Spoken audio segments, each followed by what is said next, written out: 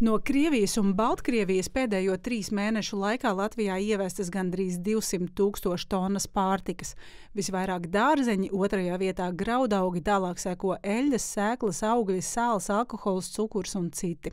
Salīdzinot šo pašu laika periodu pirms gada, redzams, ka piemēram graudaugu imports no Krievijas un Baltkrievijas audzis vairāk kārtīgi. Pārtikas un veterinārā dienesta robežkontrolas departamenta datos uzrādīti 68 uzņēmumi, kuri no augusta līdz oktobrim ieskaitot saņēmuši pārtikas produktus no agresoru valstīm. Starp tiem liela daļa pārtikas vairumtirdzniecības uzņēmumu, arī kravu pārvadātāji, kosmētikas un medikamentu tirgotāji, alkohola ražotāji, piemēram, Amber Latvijas balzams, saldumu ražotājs aizkrauklas saldumi, Sijā Voldemārs, arī vairāki ostu termināļi. Pārtikas un veterinārais dienests neizpauž ne katra uzņēmuma saņemto preču apjomus, ne arī saņemto preču grupas, norādot, ka mazākie saņēmuši līdz desmit kravām trīs mēnešu laikā, lielākie simt un vairāk kravas. Protams, pēc tam, ko uzņēmējs izvēlas tālāk ievedot, vai viņš pārdos tālāk kādai citai dalību valstī vai arī jau šo ievesto produkciju eksportēs no Latvijas. Tā jau ir viņa izvēle un izšķiršanās. Mēģinājām sazināties ar visiem pārtikas un veterinārā dienesta sarakstā iekļautajiem uzņēmumiem. Lielākā daļa uz jautājumiem neatbildēja. Sijā aizkrauklas saldumi norādīja, ka no Krievijas ieved augu taukus, bet no Baltkrievijas kukurūzas bumbiņas. Šie produkti esot par 30% lētāki nekā citur. Kopējais šo preču īpatsvars ražošanā nesot liels. 3%. Tos 3% aizstāt ar kaut ko, kas nāk no citurienes. Esat kādreiz domājuši, vai neesat domājuši, vai tas nav svarīgi jums? Nē, nav svarīgi. Piemēram, Mango trade pārstāvis rakstiski norādīja, ka kopš kara sākuma nepārdod un nepērk no Krievijas un Baltkrievijas uzņēmumiem un uzsver, ka mūsu informācija esot novecojusi. Arī Sijā Voldemārs norādīja, ka neimportē un uzņēmuma noliktavā atlikumos nav preču no Krievijas un vai Baltkrievijas. Tikmēr pārtikas un veterinārais dienests uzsver, 68 uzņēmumu sarakstā kļūdu nav. Paši atbildīgi operatori vai viņu pārstāvi, kas pārstāv, ja, tā tad ir deklarējuši šo preču saņemšanu Latvijā vai arī citās Eiropas Savienības dalību valstīs. Starp PVD sarakstā minētajiem preču saņēmējiem ir arī vairāki ostu uzņēmumi.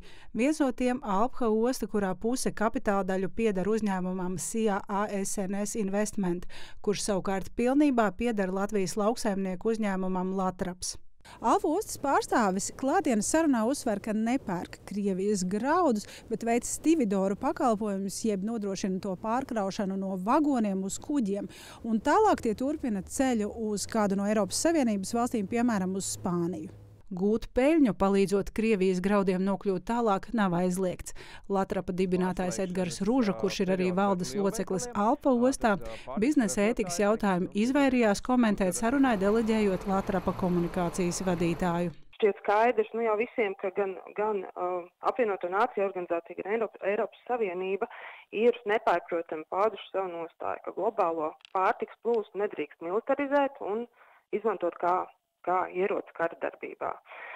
Um, ko tas nozīmē? Tātad katram caur Latvijas, uh, caur Latviju transportētiem graudam ir ne tikai pārdevējs, bet arī pircējs. Tātad persona, kura, kurai ir nepieciešama pārtika. Latvijas pārstāve uzsver, ka Alfa osta ir tikai viena no nedaudziem stividoru pakalpojumu sniedzējiem Latvijā, kas palīdz Krievijas importētajiem graudiem nokļūt tālāk. Piemēram, Astram ar Liepāja KA stāsta, ka sniedz kravu ekspedīcijas pakalpojumus Eiropas kompānijām, nodrošinot graudu kravu plūsmu caur Latviju. Vai tā ir ētiska, ētiska puse vai neētiska puse, tas būtu jāizlemj Eiropas Savienības kopējai politikai. Ja?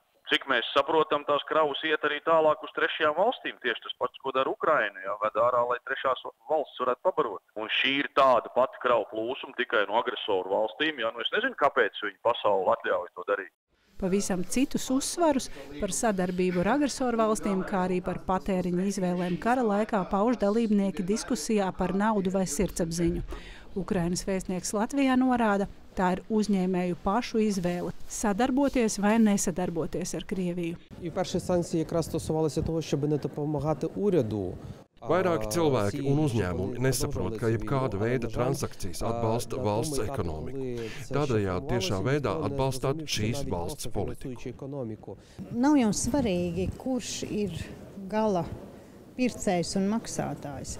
Bet svarīgi ir, ka mēs esam līdzatbildīgi tam, ka Krievijā nonāk nauda, par kuru viņi var bruņoties un nogalināt Ukraiņu bērnus, mammas un tētus. Šo uzņēmēju saraksts ir arī zemkopības ministra rīcībā, daudz detalizētāks. Ministrs neatklāja, kuri no minētajiem 68 uzņēmējiem visaktīvāk sadarbojas ar Krieviju un Baltkrieviju. Es personīgi noteikti uzņemos ar šiem lielākiem importētājiem sazināties, noskaidrot, kāda ir tā situācija. Bet, Es teiktu, tā tas ir katra uzņēmēja tiešām nu, ētikas jautājums, vai viņi uz kara rēķina un uz citu ciešanām pelna vai izvēlās to nedarīt. Ministrs gan norāda, ka iestājas par Krievijas un Baltkrievijas pārtikas preču importa aizliegumu Eiropas Savienības līmenī. Zandozo Balodi Kaspars Markus, Latvijas televīzija.